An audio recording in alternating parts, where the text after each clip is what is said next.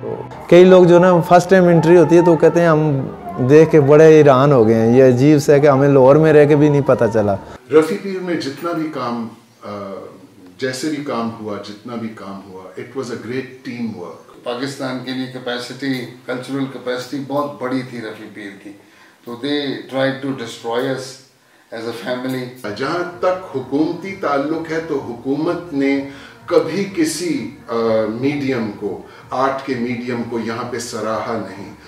Government of Pakistan ने हमें I think चालीस साल में चालीस रुपए नहीं दिए।